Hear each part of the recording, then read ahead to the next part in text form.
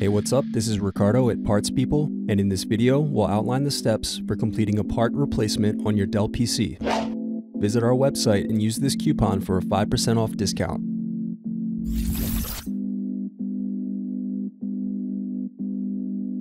Slide open locking mechanism and remove battery.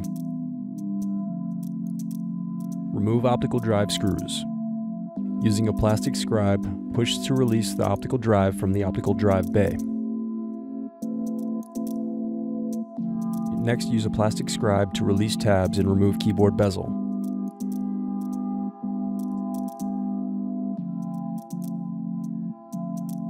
Now use a plastic scribe to release tabs and turn over keyboard.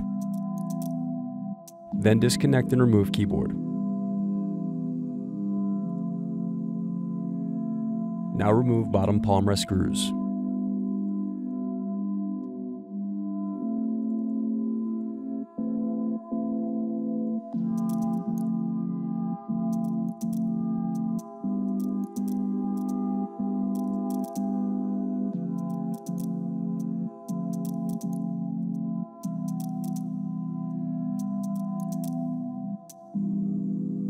Now remove upper palm rest screws.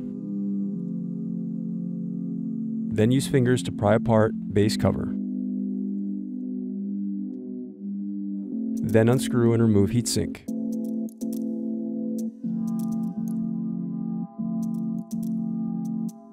Thanks for watching. Don't forget to like and subscribe if you enjoyed this video. And if you need more, check out this playlist to watch other tutorials for your laptop. You can also click here to find parts for your laptop at partspeople.com.